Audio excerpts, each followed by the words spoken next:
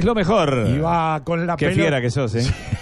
con la pelota en la mitad de la cancha buscando a Piris. Deja atrás para Marichal. Larga pelota que devuelve el Tito Formiliano. Balón sobre un costado afuera. 45-40. Repone Nacional en la derecha.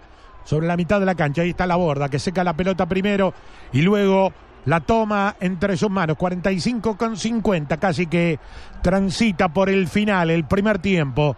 La pelota la vino a buscar Vergesio. El centro para Cándido.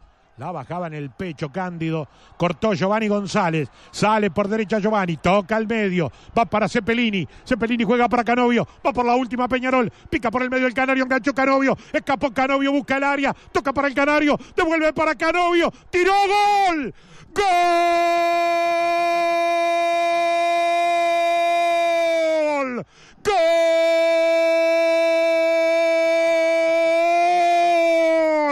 Peñarol Canovio. Canovio arrancó por derecha.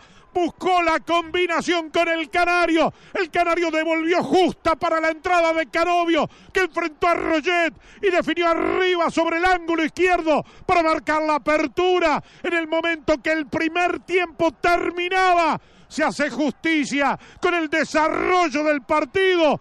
Canovio Peñarol 1, Nacional 0. 13 a 0. Si no lo sentís, no lo entendés. Qué difícil era encontrar un espacio para meter esa pelota, ¿eh? No tenía muchas posibilidades para resolver Canovio, le pegó muy bien, pero muy bien, en el único pedacito donde podía entrar la pelota, en una jugada que arranca con un tremendo pase de Cepelini para la carrera de Canovio, que a velocidad y una muy buena combinación termina poniendo el gol. Lo decías vos, Alvarito, había sido mucho más Peñarol, realmente mucho más que Nacional el primer tiempo, y era injusto que el partido se fuera sin que Peñarol estuviera ganando. Y los cuernitos, besito, lo grita con todo Agustín Canovio, el canario Agustín Álvarez Martínez, que se disfrazó de asistidor y el festejo en el banco de suplentes de Peñarol, corridita de la Riera, lo Diego Armando Maradona.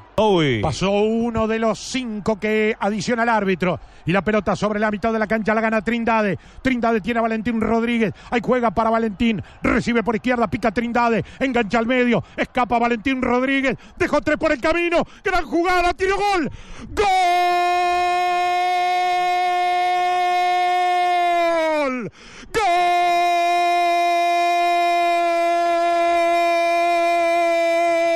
¡Golazo! ¡Golazo de Peñarol Valentín Rodríguez! Una jugada maradoniana. Arrancó en la izquierda, quebró la cintura para escapar de Méndez. Pasó entre dos, se metió en el área y definió entre las piernas de Roget para marcar el segundo en tiempo adicional. Le sienta bien el final de los tiempos a Peñarol. Pasa a ganar 2 a 0. Valentín Rodríguez. Póngale un cuadro, cuélguelo, profesor, y mírelo hasta que se canse.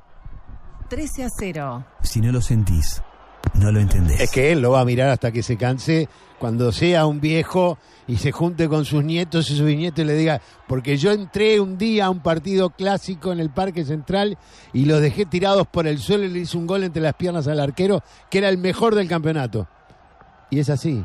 Tremendo gol, liquidando un partido en el que Peñarol fue mucho más que Nacional, aunque en el segundo tiempo se dedicó a toquetear demasiado la pelota y tuvo poca profundidad. Y se enloquece en el grito de gol todo Peñarol, la Riera que se abraza con Darío Rodríguez, Valentín Rodríguez que se sacó la camiseta para festejar, recibió la amarilla el jugador de Peñarol, como que le robó los poderes al Facu Torres, ¿no? Tal cual. Que lo parió, eh, condujo el, el informativo de mañana, Valentín Rodríguez viene y hace gol acá, un crack. Un crack. En el 12, ¿no? Sí, claro, entonces. Usted lo ve. Sí, siempre. Mientras escucha la Sport, todo, a la vez. Eh, a- eh, alterno.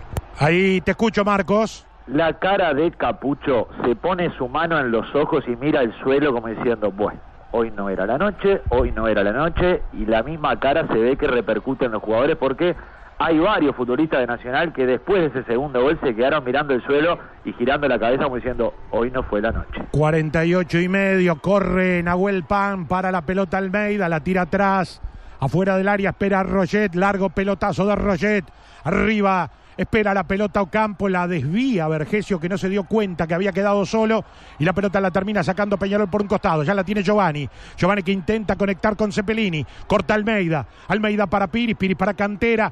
Va con todo a buscar la pelota en la mitad de la cancha. Musto no llega, la abren para Méndez. Último minuto. La toca Méndez con Corujo. 49 de 50. Pelota larga para Vergesio. La va a buscar Ocampo. Sale a presionarlo el mono Pereira, costado del área. Enganchó. Se le puso adelante el mono. Se le puso adelante y adelante puso toda la carpeta. Todos los biblioratos y también alguna cosa más.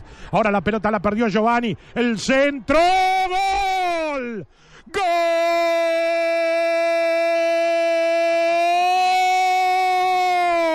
De Nacional Vergesio. Vergesio peinó la pelota que se clavó arriba al ángulo derecho para descontar, para poner un manto de incertidumbre. Vergesio gana Peñarol, pero 2 a 1 ahora. 13 a 0. Si no lo sentís, no lo entendés. Impresionante Vergesio. ¿eh? No había tenido una pelota. No le- le- la única le dieron una espalda que se dio media vuelta, sacó un remate que no fue muy bueno. Acá es increíble la pelota que ponen por arriba y de espaldas. Porque está de espaldas, mete el cocazo para poner el gol del descuento y hacer soñar a Nacional, aunque prácticamente no queda nada.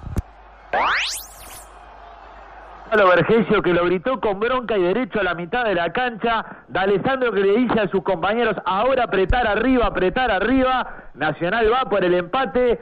Peñarol que desde el banco le piden calma y calma. Qué lindo que se puso esto, che.